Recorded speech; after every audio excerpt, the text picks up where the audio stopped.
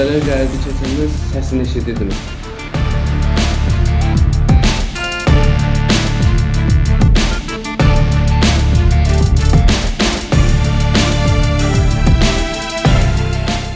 Səhər saatlarındaydı. Saat 7-yə işləyirdi və təxmini hava təzə açılmışdı da.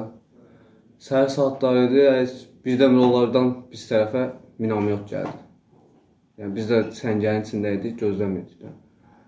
Birdən-birə bəs bizə komanda verildi ki, irəli. Komandirim var idi, adı Şirnovilhan. Yəni baxdı bizə, dedi ki, hazırsınız uşaqlar. Yəni inanmırdıq da ki, bəs müharibə olacaq, döyüşəcəyik. Gözləyirdik və sakitcə.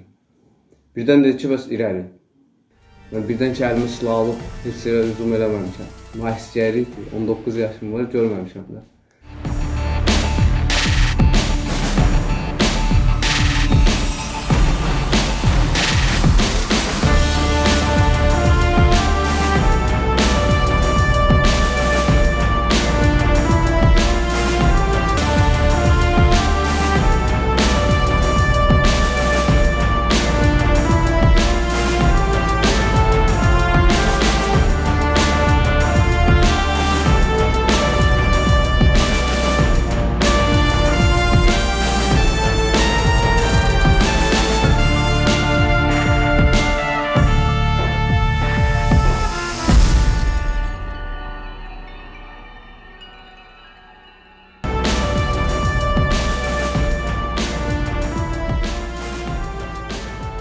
Birinci səfərdə düşmən səngərinə girirdim də.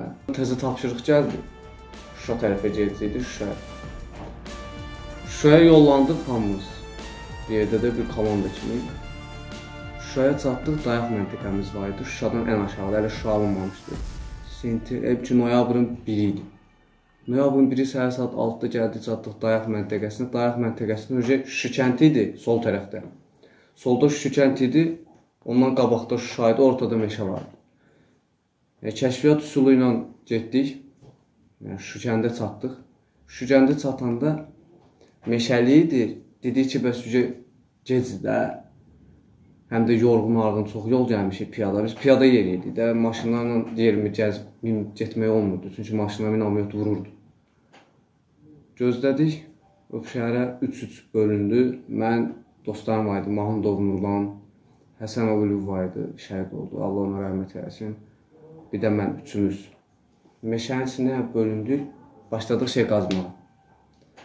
Səngər 3 nəfərlik. 3 nəfərlik səngər qazdıq elə oturmuşduq ki, başladıq ki bölünməyə. Hər öz səngərində posta çıxacaqdı da. Mən bunlara dedim ki, bəs mən yatıram saat 8-dir. Saat elə bir ki 5-ə kimi, 6-ya kimi, saat 4-dən 8-ə kimi mən deyəcəm da posta tək. Mənə dedilər ki, hə, yaxşı yat. Vəbşi yatdım səngərdə. Birdən saat 1-ə işləyirdim, minamyot atdılar bizə, birinci minamyot. Gözüm açıldı da, öyrəşmişdim səsə. Gözüm açıldı, dedim ki, Mahmudov nə olub? Qayıtdı ki, qaqa, bəs həmlə mühasirəyə düşüb, bizim də yerimizi biliblər, biz də mühasirəyə saldılar. Bir top atdılar da, bizə 80 atdılar, 120 atdılar. Hamını yığırdılar dərəyə. Meşanın altında dərə var idi, oranı minamyot tutmur. Dedim, hə, yaxşı, yəni branjeti geyindim, kaskanı taxdım, naburniki. Elə çıxdım səngərdən. Mahmudov qabaqda gəldi. Həsənov uniformdan arxada, Həsənovdan da arxada müəllimə. Biz üçümüz həmişə bir yerdə gəlirdik. Yəni bir yerdə idik də. Rahat. Həmişə də tapşırığa gedəndə komandir deyirdi ki, eləsin bizi bir yerdə salsın da, çox yaxın idi. Option elə çatdıq dağ idi. Belə dağın arxasında çönüb dərəyə düşmək istəyəndə mən gecikdim. Yanıma top düşdü. 82 top 3 metr məndən sağa həm vannası qaldırdı, çıxdı mənə yerə. Azı 10 metr, 15 metr mənə qırağa tulladı. Qırağa tullayanda bir sənətər oldu. O heç nə eşitmirdim, nə, nə danışa bilirdim, nə eşidə bilirdim. Qulaqlarım hamısı tutulmuşdu.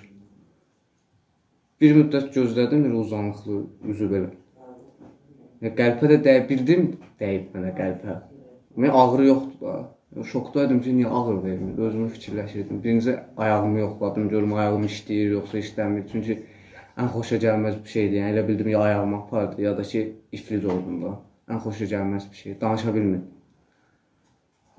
Gözlədim bir müddət heç nə eşitmirdim. Az bir 5 dəqiqə, 10 dəqiqədən sonra gözüm hər şey açıldı da. Səs qulağıma açıldı, danışa bildim. Baxdım sağıma, soluma, gördüm ki, yəni 2 nəfər yanımda şəhid olmuşdu. Yəni birinin əli yox idi.